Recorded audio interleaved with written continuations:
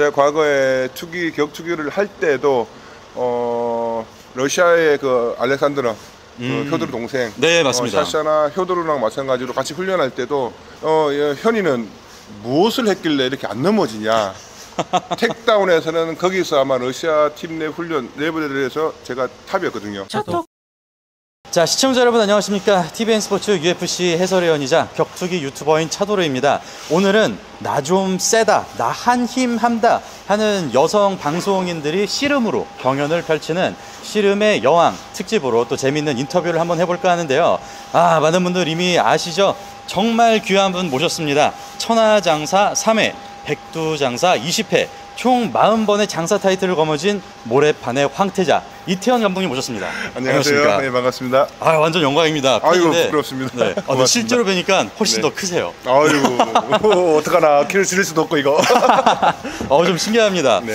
어, 우리 이태원 감독님으로부터 말씀을 드리자면 한 평생을 씨름에 바쳤다고 해도 과언이 아닙니다. 네. 1990년대 중반부터 씨름 선수로 쭉 활동을 하시다가 어, 현역에서 은퇴하시고 용인대학교에서 교수로도 또 네. 활동을 하시고 어, 씨름 감독 그리고 해설으로도 또 활약을 하고 계신데 최근에는 어떻게 지내세요? 근황 좀 알려주세요. 네, 지금 이제 용인대학교에서 이제 후학들을 양성하고 있고요. 어, 그 다음에 이 KBS에서 씨름 해설위원으로도 활동하고 있으며 이 씨름 발전을 위해서라면은 전 세계 어, 어디든 날아가서 씨름을 전파하고 있는 씨름 전도사라고 할 수 있죠. 와. 반갑습니다. 진짜 우리 감독님 덕분에 씨름에 대한 관심이 점점 늘어나는 게 저도 느껴집니다. 감사합니다. 그리고 또 아무래도 저희 차도로 채널이 격투기 채널이다 보니 이태영 감독님이 이제 또 잠깐 격투기 도전을 하셨잖아요. 네네. 네, 그리고 이거는 또 제가 어, 또 외국 격투기 선수분들이랑 교류를 하면서 또 느낀 건데 특히 러시아 선수들이 이 밸런스나 테크닉을 위해서 씨름을 또 따로 연습을 한다고 해요. 아, 네, 혹시 씨름을 투기 종목으로서 평가를 한다면 어떨까요? 어, 사실상 이 투기 종목에는 타격까지 들어가야 되는데 이 타격문에서는 씨름이 남을 해하거나 이 타격을 주는 행위가 없기 때문에 어, 택다운이나 그래플링에서는 택다운 위주의 거의 승률이 굉장히 높다고 볼 수 있죠. 제가 과거에 투기 격투기를 할 때도 어, 러시아의 그 알렉산드르 음. 그 효도르 동생 네, 맞습니다. 어, 샤샤나 효도르랑 마찬가지로 같이 훈련할 때도 어, 예, 현이는 무엇을 했길래 이렇게 안 넘어지냐. 택다운에서는 거기서 아마 러시아 팀 내 훈련 레벨에서 제가 탑이었거든요. 근데 그 후회가 문제였지. 아. 초보자, 난 격투기, 종합 격투기에서는 초보자였지만은 이제 넘어뜨리는 거 하나만큼은 제가 거기서 탑을 먹었으니까.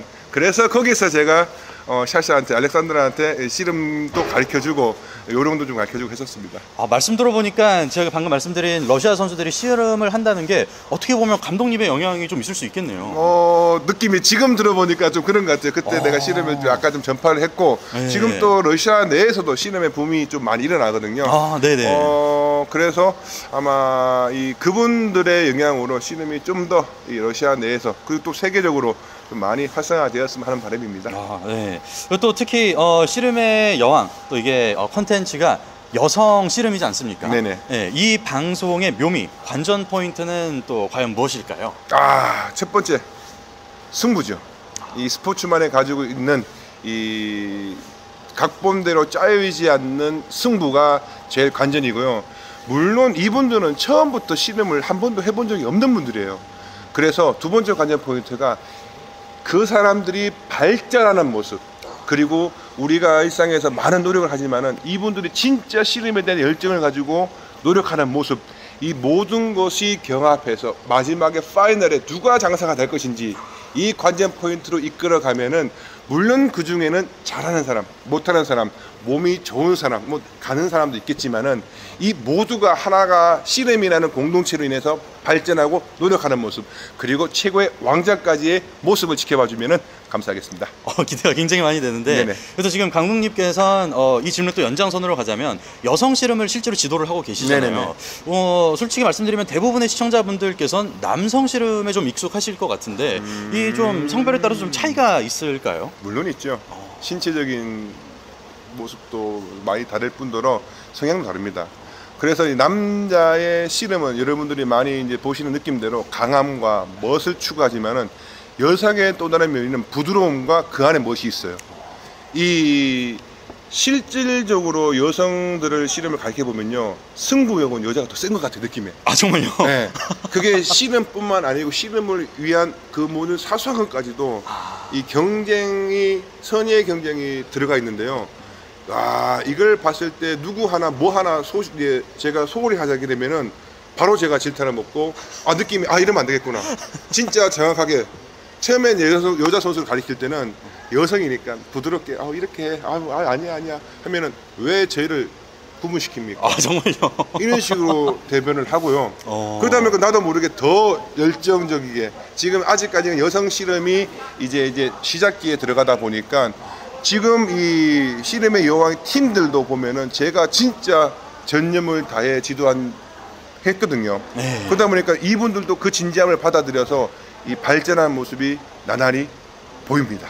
어, 방송이 기대가 굉장히 많이 되는데 감사합니다. 어, 지금 제작 발표회 때 감독님께서 어, 고은하 씨가 상대 선수를 굉장히 잘 엎어버린다고 우승 후보로 원픽을 하셨습니다. 네. 지금 촬영이 또 막바지로 접어가고 있는데 네. 지금 이, 이 시점에서도 고은하 씨를 우승 후보로 보고 계신지요?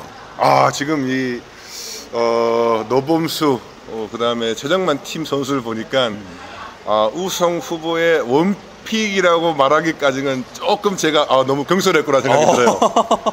이 모든 선수들이 다 연습을 과정을 거치면서 이 나날이 발전하는 모습 보니까 우리 팀에서도 이 누구 하나 아, 공훈아 씨는 무조건 발전했어요.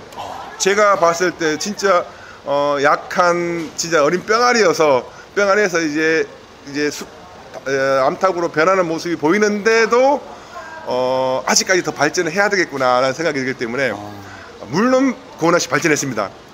가망성 있고요. 하지만은 원픽이 날아가지고 이제 말을 좀 아끼고 싶어요. 지금 너무 선수들이 수준이 다 올라왔어. 오. 네. 그래서 어, 큰 고은아 씨 한번 지켜봐 주세요. 아 지금 어, 말씀 들어보니까 굉장히 치열하게 방송이 진행되고 있는 것 같은데 네. 아 빨리 좀 공개됐으면 좋겠네요. 너무 네, 궁금합니다. 감사합니다.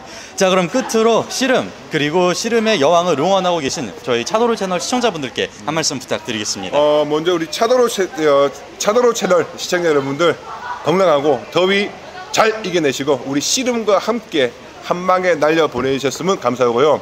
어, 우리 씨름의 여왕, 이 씨름이라는 이 투기 종목으로 어, 여러분들의 마음을 뺏을 준비가 되어 있습니다. 여러분, 우리 씨름과 함께 같이 이 더- 무더위 날려버리면서 같이 우리 씨름을 세계로 보냅시다. 감사합니다. 감사합니다. 자 이태영 감독님이었습니다, 여러분. 감사합니다. 감사합니다. 네, 감사합니다.